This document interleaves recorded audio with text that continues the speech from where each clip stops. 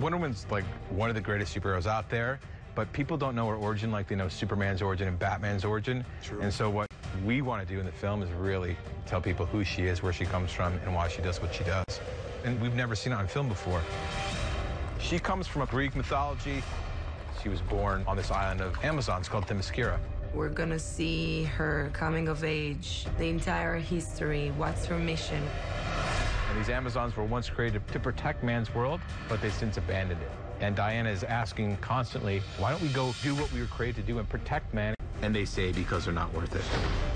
And this takes her on a journey into our world. Telling a story like this now is pivotal and important. The story of a very powerful woman. She's an Amazon warrior. She's the best fighter in the DC universe. She has strength and speed, and she's been training her whole life for war. Wonder Woman has been around for 75 years. Feminist cultural icon. She stands for equality, and that's really important. I think that's why people love the character. The greatest thing about Wonder Woman is how good and kind and loving she is, yet none of that negates any of her power.